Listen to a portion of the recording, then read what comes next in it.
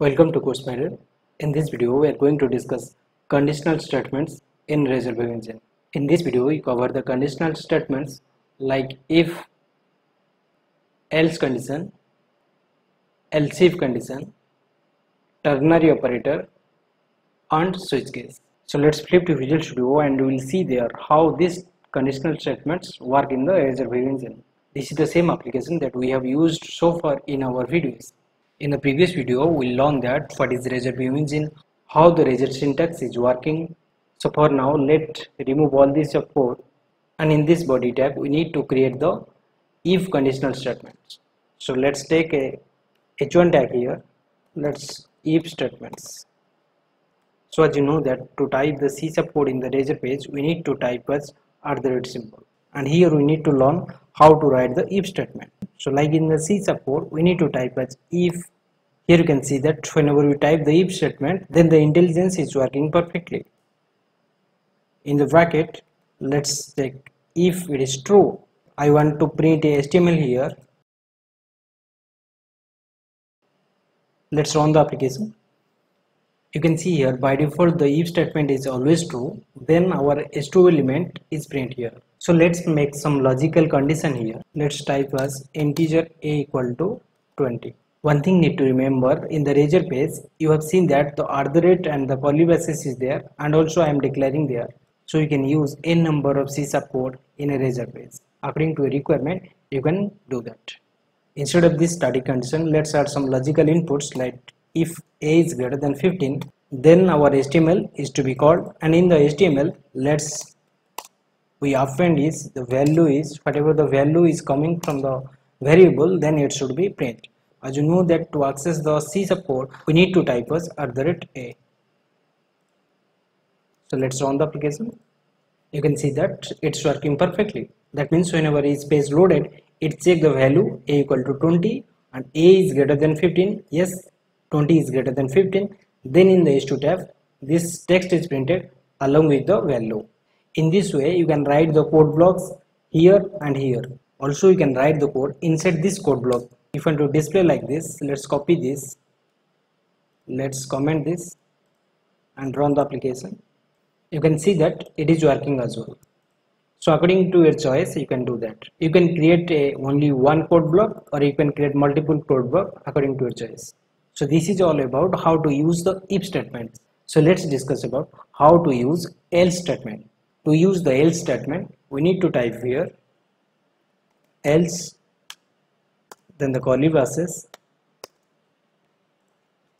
you can see that in the else statement there is no need to type the rate symbol. If you type the other rate symbol in the else case you can see this error will become because of whenever you type at the rate if statement then the Razor View engine is very much intelligent and then it treated as this if block has the else block so there is no need to type at the rate symbol again and again. So here let's type as let's s2 is let's type as else block is called. And value is let's add the rate because you declared a equal to 20 so in this case it is always true. So let's convert into less than symbol run the application. Now you can see the else block is called.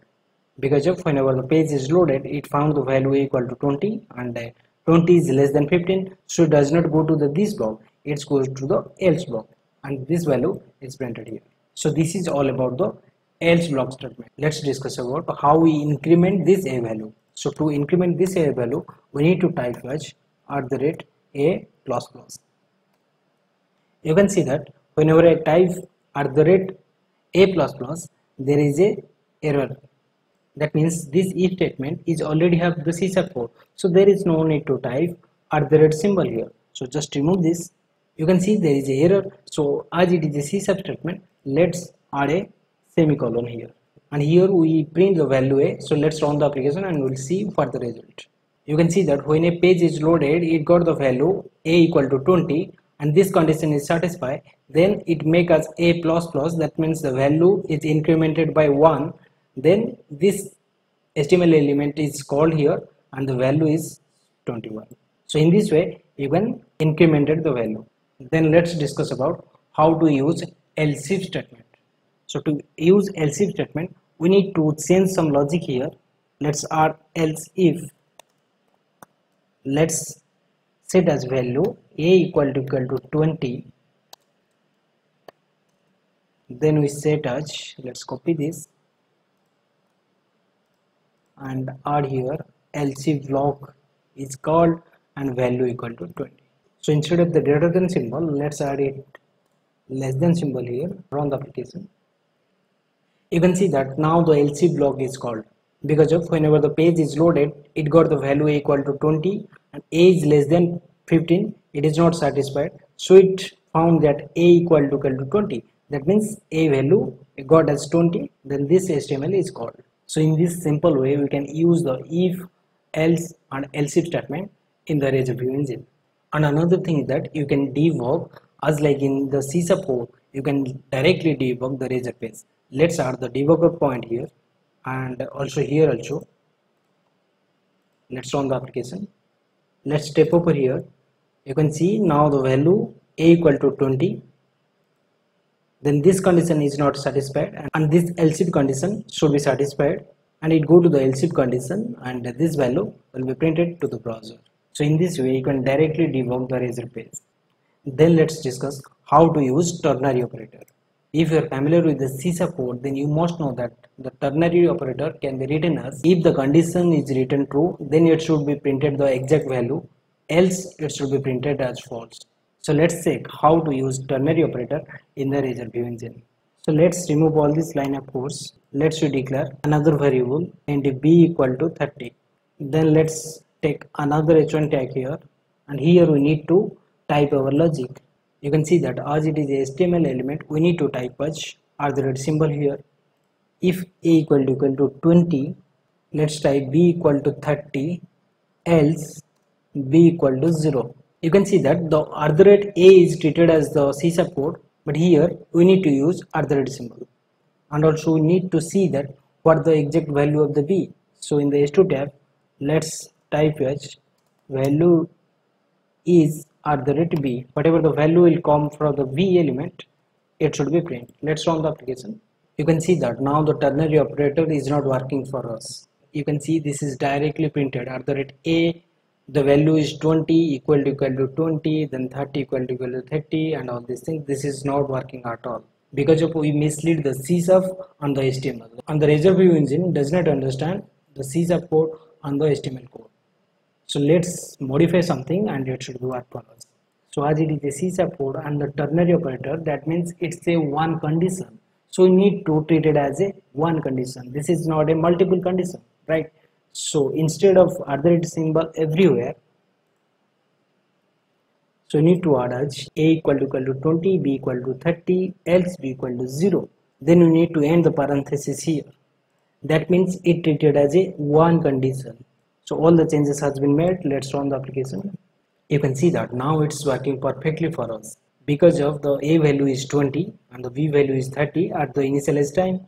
And here a equal to equal to 20 if it is true then it printed as b equal to 30 so let's change the application as a equal to something else. And it does not match this value then it should be printed as 0 so let's save this. So let's make equal to 2 let's save this and run the application again. You can see that now the ternary operator is working perfectly for us. We initialize the a value equal to 2 and in the ternary operator condition the a equal to equal to 20 it does not match. So it goes to the statement false statement. That means this condition is not satisfied. Then the b value equal to 0 then this value is printed here. So according to this way you can use the ternary operator in the razor view engine so let's discuss the final one for this video about the switch case statement in the razor view engine. We need to type as at the rate. At the rate is the symbol to the initialization the razor page. Then inside the curly braces we need to type our logic like case value is at the rate a. Then the break statement.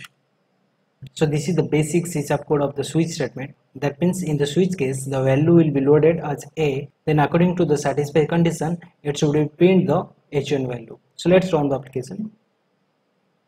And here we need to see that our value initialization a equal to 2 you can see that now it printed as value as 2 because if in the switch case it's found as here the case 2 and the case 2 will be printed for us. Let's make as 5000 you can see that now the case 2 is success then it goes to the print the value if you want to debug then just touch the debugger here and reload the page. You can see that the debugger is hit here. You can see that the case 2 is satisfied then this value is to be printed that means here there is no condition to satisfy this value. Then it should be printed as the default value invalid value for us. Let's run the application and see the result. You can see that it is printed as invalid value. Because of whenever the page is loaded it initializes the value as 20 and here there is no condition to satisfy the value is 20 so in the switch case the default statement will be hit and it printed our result. So in this view we can use the basic conditional statements like if else else if ternary operator and switch case in the ASP.NET Core Razor View engine. If you are new to the Razor View engine and the Razor syntax please do practice. Let me ask in the comment box then I will definitely help to you that's it in video. In the next video we are going to discuss how to use loop in Razor Page in that video we are going to discuss about for for each loop while loop in details. Do like and subscribe for more upcoming videos. Thanks for watching